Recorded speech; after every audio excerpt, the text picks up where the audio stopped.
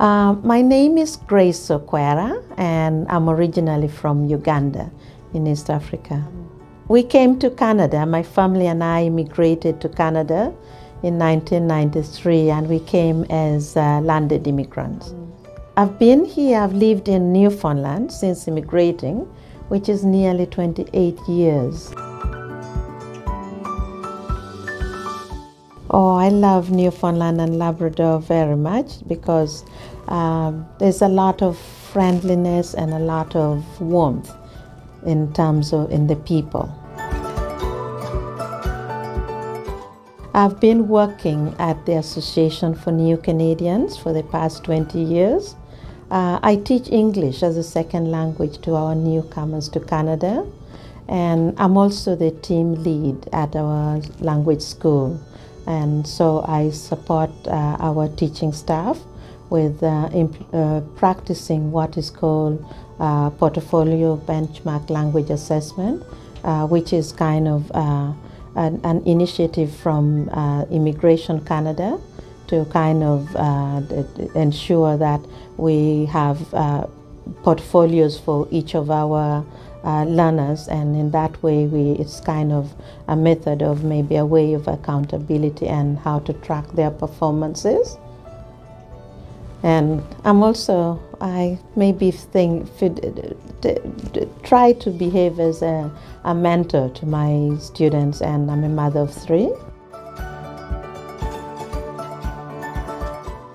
Having immigrated to Canada in 1993, I did indeed face uh, a few challenges integrating into the society, both as a, a woman of color and as a, a single mother.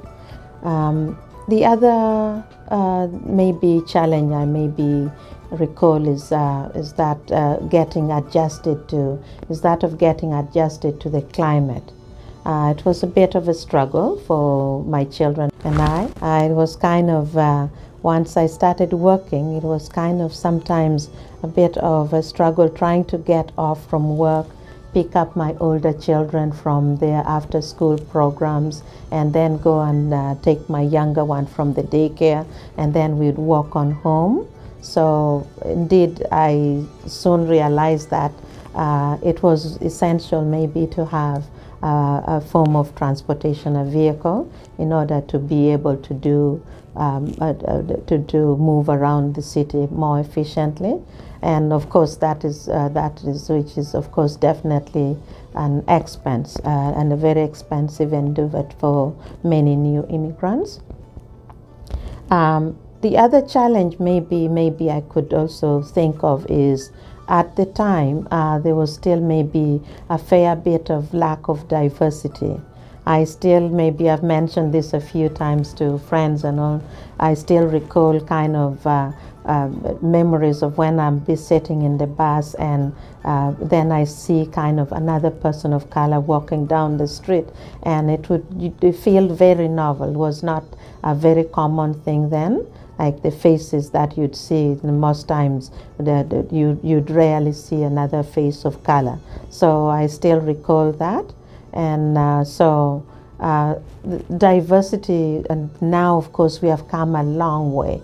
We have made great strides in trying to understand different cultures uh, but the lack of it then made kind of a, a fairly steep learning curve for me and it, uh, when it came to even adapting other people's or different uh, cultural perspectives and customs.